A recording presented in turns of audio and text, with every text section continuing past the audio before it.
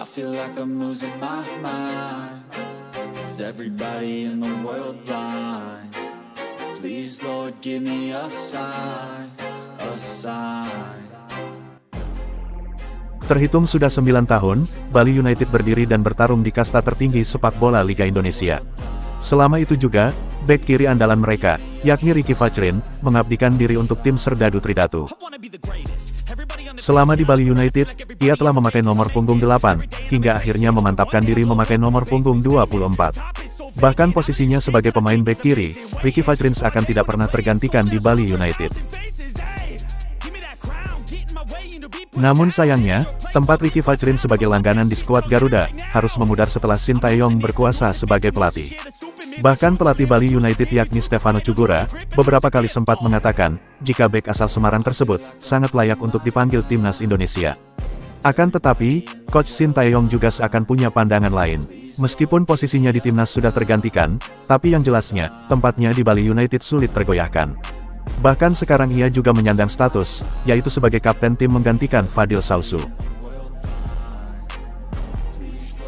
Sedikit fakta tentang Ricky Fajrin, di mana ia merupakan pemain dengan jumlah menit bermain terbanyak, di antara pemain lain di Bali United saat ini. Sosoknya bahkan mengalahkan Yabes Roni dan Fadil Sausu, yang juga sama-sama telah mengabdi 9 tahun di skuad Serdadu Tridatu. Bahkan yang terhitung, Ricky juga sudah merasakan bagaimana ditangani empat pelatih yang berbeda, mulai dari Indra Syafri, Hans Dieter Saler, Widodo Cahyono Putro, dan yang sekarang Stefano Cugura.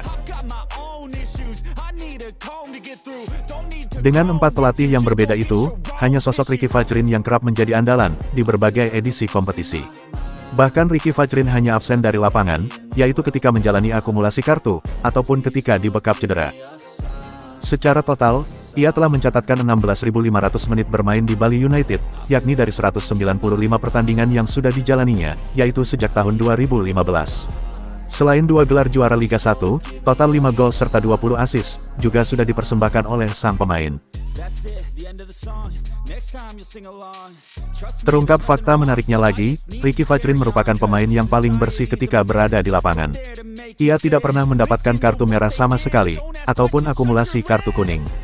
Jika di total, Ricky Fajrin hanya mendapatkan 18 kartu kuning, terhitung sejak gelaran ISC musim 2016. Pelatih Stefano Cugura juga kerap memberikan pujian kepada sang pemain, termasuk ketika Ricky mendapatkan kepercayaan sebagai kapten utama.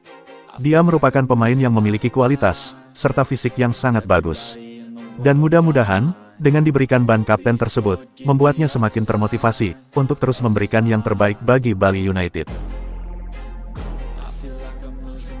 Bali United merupakan klub profesional pertama bagi Ricky Fajrin, setelah menyelesaikan tugas di timnas U19 saat itu. Bersama dengan Evan Dimas dan kawan-kawan, Ricky hampir selalu menjadi pilihan utama bagi pelatih Indra Syafri. Seiring berjalannya waktu, Ricky juga kerap bertransformasi posisi. Tidak hanya sebagai bek kiri, ia juga bisa diplot sebagai bek tengah, maupun gelandang bertahan. Khusus untuk posisi sebagai gelandang bertahan, sang pemain bahkan lebih rutin diposisikan oleh sang pelatih di musim ini.